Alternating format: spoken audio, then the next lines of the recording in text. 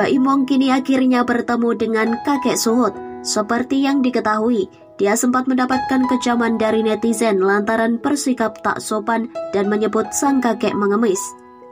Momen pertemuan tersebut diabadikan sebuah akun Instagram Gerak Menebar Kebaikan pada Kamis 14 Oktober 2021. Keduanya tampaknya kini sudah saling memaafkan. Alhamdulillah apa yang diharapkan bisa terwujud oleh kakek Suhut Hari ini. Alhamdulillah kami bisa mendampingi kakek Suhut untuk bertemu dengan Kak Baim Wong. Tulis keterangan unggahan tersebut. Menutur penuturan akun tersebut, momen pertemuan antara suami dari Paula Verhoeven itu dengan kakek Suhut pun penuh dengan rasa haru dan bahagia, yang mana berujung dengan saling memaafkan. Semua terjadi atas kehendak Allah dan tidak ada lagi yang perlu dipermasalahkan.